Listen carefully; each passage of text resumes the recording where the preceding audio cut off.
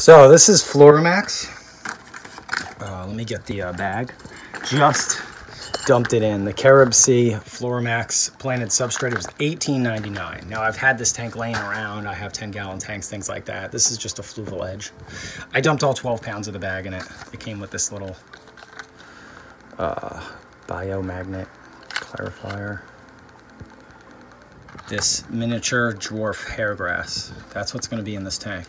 This one uh, culture, tissue culture of it. They claim that um, no snails and pest and disease free, so that's good. That's going to get planted in so the plant was eight, 849, I think. This was 18.99 for the Floramax, and then I have this top fin light, and I use this on another tank that I grow Anubias in, and it works perfectly fine in a 10 gallon tank. And this is a five gallon tank, and this light was 18.99. So 18.99 for the substrate, 18.99. dogs barking for the uh, light, and then eight dollars and fifty cents for the uh, plant, the hair grass. So altogether, you're looking at less than fifty dollars, and it's that's it. Totally low budget. That's all I'm doing. No CO2 no nothing special. That's all I'm going to do. So let me get some water in here. Um,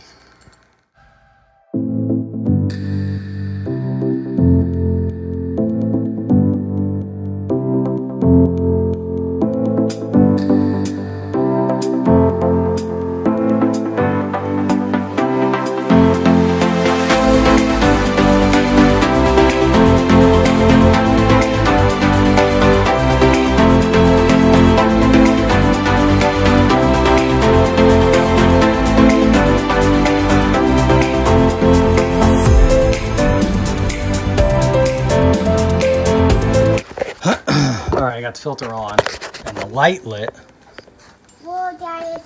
and the turkey baster. This is just something that I've over the years found is an amazing tool to have for your tanks. Just to pick stuff up sometimes or blow stuff off of things or prime little hang on back filters just like I'm doing right now. You can see the tank is so cold. I just used cold water to fill it that it's sweating. But I don't know if you can see this, but there's a decent current.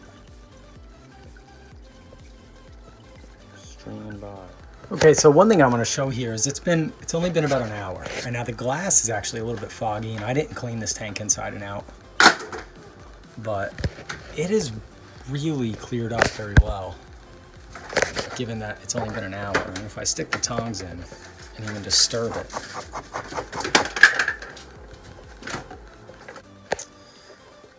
So I've used scissors, cut the top of the uh, hair grass culture off.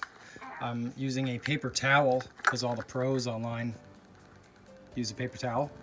I'm not gonna lie, uh, separating this is harder than I thought it would be. I also don't see like a green plant with hanging roots, which I kind of wanted to see. Let me see if you can get a decent look. So I'm just gonna kind of bury this brownish end with the forceps and leave this greenish end sticking up. There, if you could see how I'm grabbing it, that's kind of brown and all that's green. I'm trying to do this one-handed.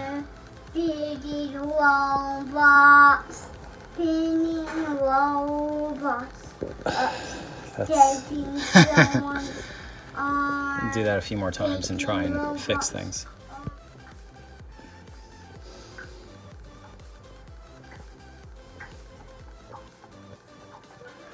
Okay, so I split it up as small as I really could um, and planted them. Definitely didn't do a great job. Hopefully these things kind of fix themselves a little.